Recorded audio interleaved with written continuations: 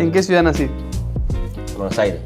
Nombrar tres equipos que jueguen en Bianconero que usen los colores de la Juve.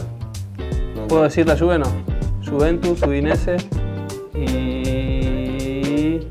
Ya está. Bien, ah. vamos. ¿Puedes nombrar tres cosas que, que no puedo vivir sin?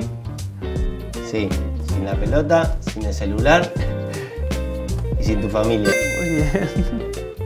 Ahí gané.